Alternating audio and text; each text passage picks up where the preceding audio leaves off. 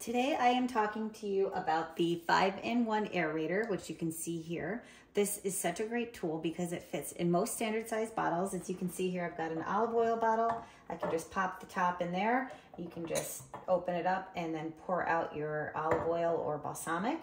Um, it's also great for um, wine bottles. Instead of having this cork in there, you can just pop this in and pop it into your wine bottle and then it helps filter out any sediment, any cork.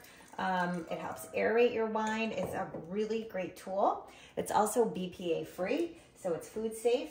Um, it's great on different types of bottles like coffee syrups, sodas, sparkling waters, like I mentioned, cooking oils, vinegars. Um, it keeps things clean and neat. It also gives you the ability to store um, items on the side too, because it's also leak proof, as you can see here. And this is absolutely one of our favorite uh, go-to stoppers in the house. I use it for so many different things.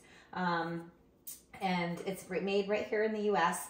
And it's like, again, it's a five-in-one tool. It's a, a, wine filter, an aerator. Uh, you can pour out of it. It's a stopper, and it's also leak-proof. So um, I really cannot recommend this stopper highly enough.